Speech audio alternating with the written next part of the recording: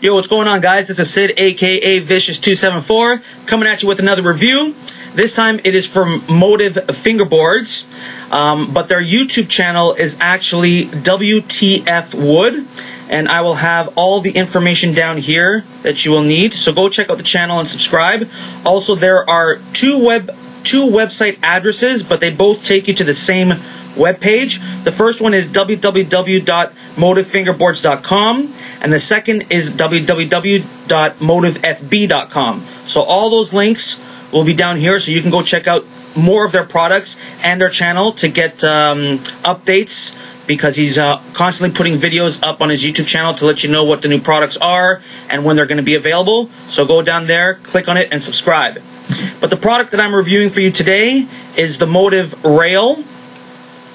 It is, I would say, about Looks like it's almost a foot long, which is a decent size if you ask me. Now you can see that it is black, but it's actually aluminum. What he does is he has this process, I believe it's called anodizing, and what that is is he shoots an electrical current through the metal, which actually gives it this color, and it makes the aluminum two times stronger than steel, but still extremely light very durable as well. Now with it, with the anodizing changing the color of the metal, you won't have to worry about the, the color coming off because I've been seshing this rail for days and I, the only thing that I've noticed is that, yeah, every, it will leave a scratch here and there, but it's not going to be a noticeable scratch because the metal is all the same color. So that was, I, I think is a very nice addition to this product that you won't have to worry about it losing its look because the rail looks sick. Now you probably noticed the footings are not your typical flat footings. They're actual cylinders. They're rounded and they have these rubber rings to act as the non-sliders. Now to me, this style of footing was a genius idea. Motive puts a lot of thought into their process and making of their products to make sure that you're extremely happy with them.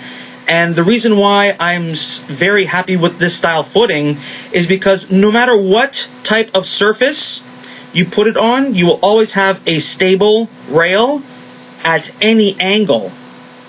Because it's it's round, so if you have like a box here and, you, and then you have your surf your landing surface, you could put one end of the rail on the box and then the other end of the rail on the landing surface, and it will always remain stable. I've tried this this uh, this doing this before with one of my flat rails that have flat footings, and um, it kind of like loses its stability because it's not sitting flat on the surface. Where with these round feet, it doesn't matter what angle you put it on, even if you put it like this, you will still have a stable rail. It's it's ingenious what he decided to do with these footings. Also, underneath here, I don't know if you could see, there is a hole right there. Pretty sure you guys could see that. And then there's a screw inside. Now, when you order the rail and it comes to you, you have to do some assembling. You just have to put the feet on. But he also did that for a reason, and that was to save you guys on shipping. Because now, instead of sending the rail in a box, he's able to sell it, send it in just a bubble mailer. So that also saves on shipping costs. All you will need is um, an Allen wrench, just to, to screw on the um, the screws inside here, and they are very well countersunk. You can't even see them, so there's going to be no interference when you're putting the rail down. My only suggestion to Motive in regards to the this rail, it has nothing to do with performance because the performance and craftsmanship is impeccable. Um, my only recommendation, I don't know if he does it, but he didn't he didn't do it for me, was to send a few extra of these rubber bands, because they are so unique, if anything was to happen to one of these rubber bands, which uh, I don't think would because they are very durable, but if for any reason, if one was to get damaged or snap or melt for any reason, it's going to be a little difficult to find a replacement. Um, I don't know if maybe you're considering putting some replacements up on your website so people can purchase them. That would be a great idea. or to maybe just send a couple extras, like maybe one or two. You don't have to send four, but maybe just one or two would be perfect. Um, but another thing you have to you have to be aware of when you purchase this wrench, uh, this wrench, when you purchase this rail, is that you're going to need an Allen wrench to put it together. Okay. This rail is $30, which I think is worth every penny considering the the thought that he put into making this product and trying to make it as perfect as possible. And to me, this is almost one of the most perfect rails out on the market right now. All right, guys, it is $30, worth every penny. So go check out motivefingerboards.com or www.motivefb.com. Both those links will take you to the exact same website.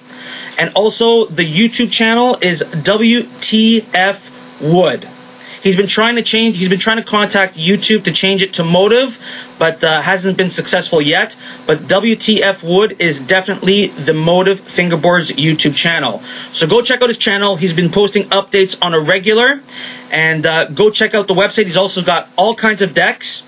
He's also got, I believe, some acrylic decks um, coming out, which um, are, are plastic but not really. They're obviously going to be waterproof because they're made out of acrylic. So I'm excited to see what those are going to be like. So uh, hope you enjoyed the review. Hope um, you guys go purchase from Motive because they're genius in everything that they do. They put a lot of thought into the process, trying to make sure that all their products are perfect for you. All right, so go check them out and keep fingerboarding. Two fingers, peace.